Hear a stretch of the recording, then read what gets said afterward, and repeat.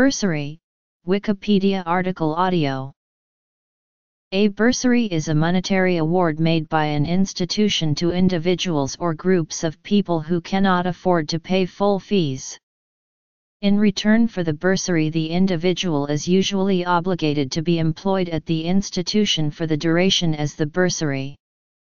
According to the Good Schools Guide, a bursary is usually for helping out the impoverished but deserving and those fallen on hard times.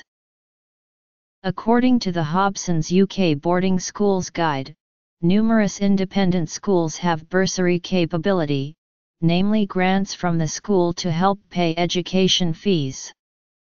These are usually awarded after a means test of family income and are not necessarily dependent on examination performance, although some account of academic ability will be taken.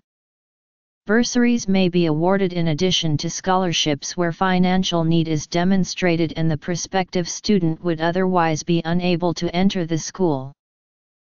To obtain such a bursary, it is customary for parents to be asked by the school's bursar to fill in an application form, giving details of their financial circumstances, supported by documentary evidence, including capital assets. The application will be considered by the school in accordance with its bursary policy the award will often only remain in force until the pupil has set the next relevant public examination. Most schools will review bursaries annually to ensure that the justification for an award remains. In Britain any award made before GCSE will not necessarily continue to the A-level stage. There are two types of bursary awarded by institutions. The first is a means-tested bursary which is available for all students whose parents earn under a threshold value per annum.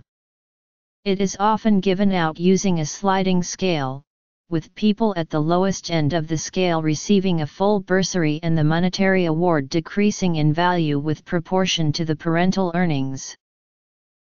The second type of bursary, also known as a scholarship or prize, is one based on performance.